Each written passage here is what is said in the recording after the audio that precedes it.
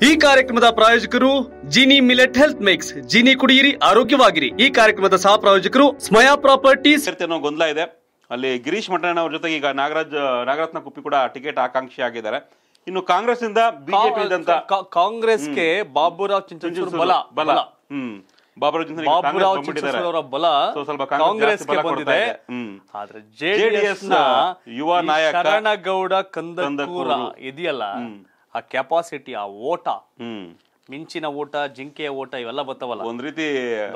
ಕಲ್ಯಾಣ ಕರ್ನಾಟಕ ಭಾಗದ ಜೆಡಿಎಸ್ಗೆ ಒಂದ್ ರೀತಿ ಶಕ್ತಿ ತರ ತುಂಬಂತ ನಾಯಕ ಆಗ್ತಾರೆ ಇವರು ಶರಣ್ ಗೌಡ ಕಂದಕರ್ ಹೇಗಿದೆ ಅಂತಂದ್ರೆ ದೊಡ್ಡ ಲೀಡರ್ ಆಗುವಂತ ಕೆಪಾಸಿಟಿ ಇರೋದು. ಕುಮಾರಸ್ವಾಮಿ ಅದಕ್ಕೆ ಅವ್ರ ತಂದೆಗೆ ಬಿಟ್ಟು ನಗನ್ ಗೌಡಗ್ ಬಿಟ್ಟು ಈಗ ಶರಣ್ ಗೌಡ ಕೊಡ್ತಾರ. ಶರಣ್ ಗೌಡ ಭವಿಷ್ಯದ ಯುವ ನಾಯಕ ಆಗಿ ಬೆಳೆಯುವಂತ ಕೆಪಾಸಿಟಿ ಇದೆ.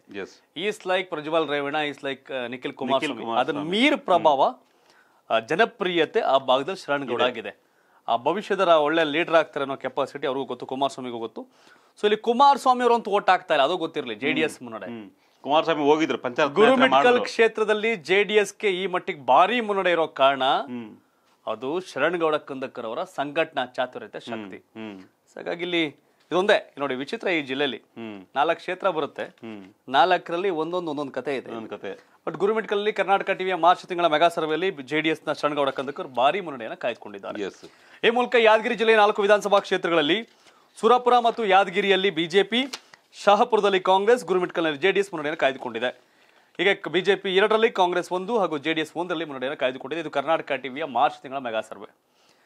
ಇದು ರಿಸಲ್ಟ್ ಸುರಪುರ ಸೇಮೆ ಬರ್ಬೋದು ಫಲಿತಾಂಶ. ನೀವು ಕೌಂಟಿಂಗ್ ದಿನ. ಗುರುಮಿಟ್ಕಲ್ ಕೂಡ ಸೇಮ್ ಸೇಮ್ ಬರುತ್ತೆ. ಶಹಪುರ ಮತ್ತೆ ಯಾದಗಿರಿ ಎತ್ಲ ಕಡೆ ಬೇಕಾದ್ರೂ ತಿರುಗಬಹುದು. ಚೇಂಜಸ್ ಆಗಬಹುದು. ಆಗಬಹುದು. ಎಸ್ ಇದು ಕರ್ನಾಟಕ ಟಿವಿಯ ಟ್ರೆಂಡ್ ನಾಳೆ ರಾಜಕಾರಣದಲ್ಲಿ ಹೆಂಗ್ ಬೇಕಾದ್ರೂ ಬದಲಾಗುತ್ತೆ. ಇಲ್ಲಿ ಯಾರು ಪಾಳೆಗಾರಲ್ಲ ಜನ ಸ್ಟ್ರಾಂಗು ಜನಗಳ ಜೊತೆ ಸರಿಯಾಗಿದ್ರೆ ಜನ ಎತ್ಕೊಂಡು ಮೆರೆಸ್ತಾರೆ. ಗಾಂಚಲಿ ಮಾಡಿದ್ರೆ ಕೆಳಗಡೆ ಹಾಕೊಂಡು ತುಳಿದಾಕ್ತಾರೆ. ಎಸ್ ಯಾರೇ ಆದ್ರೂ ಅಷ್ಟೇ.